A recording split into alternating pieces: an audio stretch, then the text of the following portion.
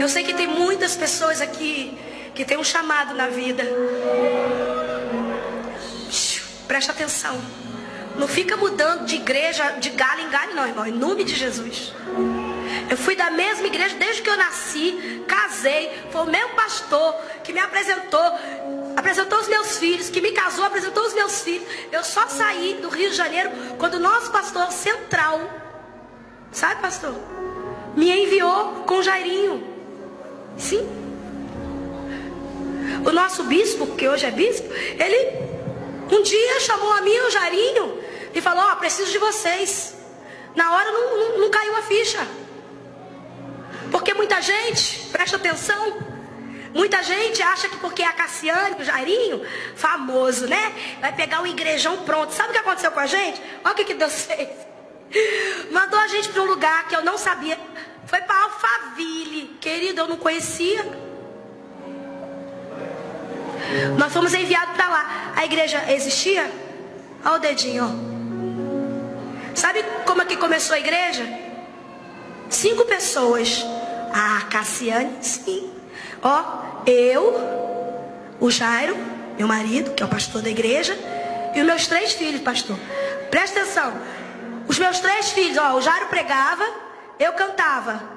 E os meus filhos tiravam oferta de quem? De mim e dele. Você ri porque não é você? Eu aceitei o chamado. Eu tomei para mim um desafio. E eu não estou falando para divulgar a minha igreja, não, meu irmão. Porque quem divulga é Deus. Porque quando começaram, os fãs começaram a saber, pastor, começou a encher de fã.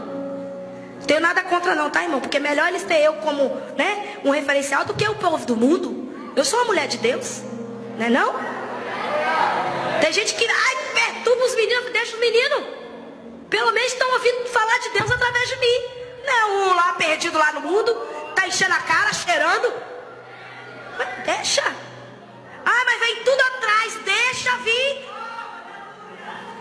Meu irmão, Deus usa a isca. Eu sou uma isca de Deus. É. Aí começou, só que igreja não fica igreja de fã. Porque fã, ó, vai indo. Daqui a pouquinho fica normal, irmão. Aí eu já ia começar a morar, não é para mandar o fã embora, não. Era porque a gente queria, já que Deus nos chamou para isso, para pastorear, porque ó, era muito mais fácil cantar e ir embora. Cuidar de ovelha. Ah, só que quer, eu quero ser igual o pastor. Vem aqui pagar preço. Cuidar de gente é muito difícil.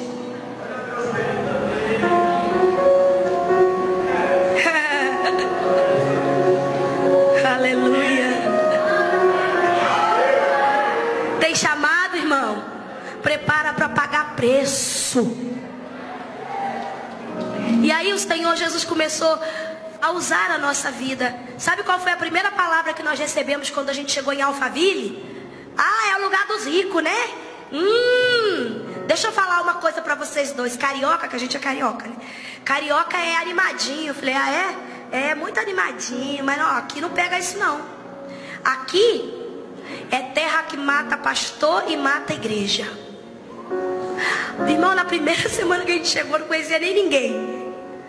Aí, eu, como falei, né, eu sou pequenininha, mas sou agitada, né, irmão?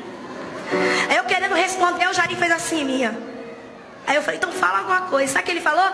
Ele falou, meu irmão, deixa eu te dar uma palavra. O quê? Cassiane e eu, a gente está acostumado com o deserto, porque deserto não é lugar de moradia, é de passagem.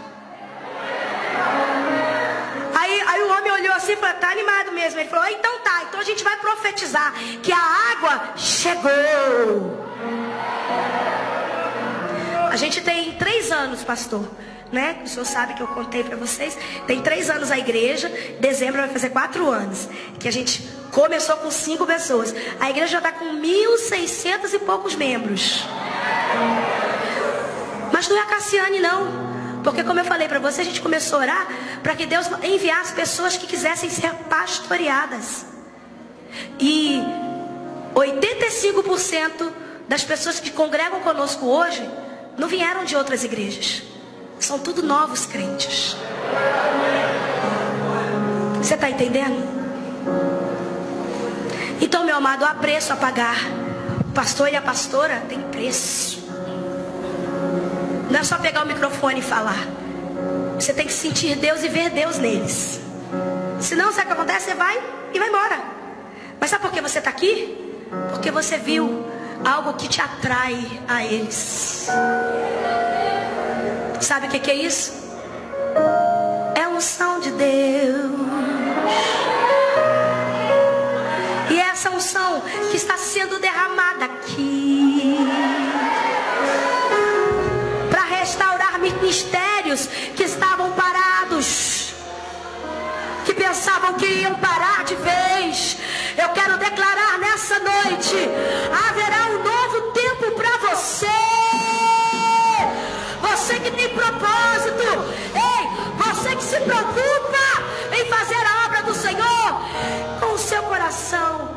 quero dizer, tem, tem unção para você aqui para renovar as tuas forças outra vez e te fazer caminhar de novo.